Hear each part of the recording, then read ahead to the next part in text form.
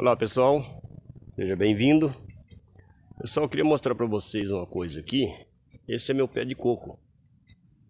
É, ele é um tamanho pequeno, tá vendo?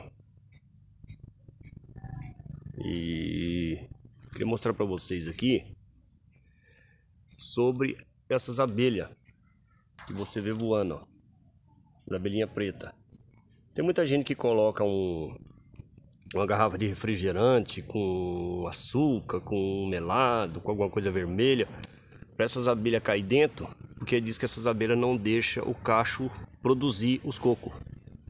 As folhas, diz que as abelhas derrubam as flores. Então, no caso, é verdade mesmo, pessoal. As abelhinhas derrubam as flores tudinha, tudo, tá vendo? Só que é mito esse negócio que a abelha não deixa o cacho produzir. Ó, você vê um cacho que não tá muito cheio, ó. Mas é a primeira vez que ele tá dando coco. Vendo? Já tem alguns cocos aqui. Ó, se você observar, eu tenho, eu tenho outro cacho ali também, ó.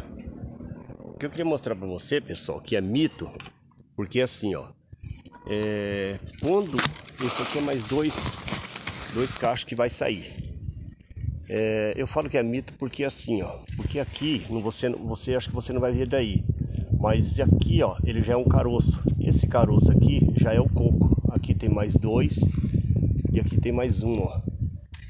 Então, o coco, esse coco aqui que você tá vendo aqui, ó, ele já forma dentro desse, de, de, desse cacho aqui, ó. Quando esse cacho chega a abrir, o coco já tá formado lá dentro. Esses cocos já tá formado lá dentro.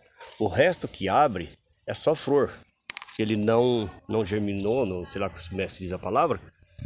Então ele não ele não as florzinhas todas não virou coco, só algumas que virou. E as que virou, quando abre ali, ela já sai os cocos. Beleza, pessoal? Então esse negócio da abelhinha que derruba as florzinhas e aí o cacho não dá coco é mito. Beleza, pessoal? Forte abraço e até o próximo vídeo.